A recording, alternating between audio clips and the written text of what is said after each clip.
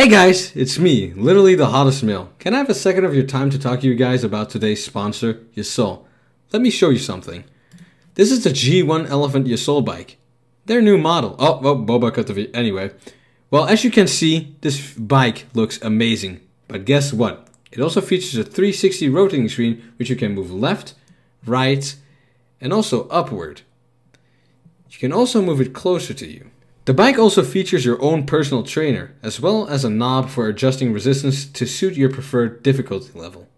You can also track the calories you lost, as well as the distance you have rode on the bike.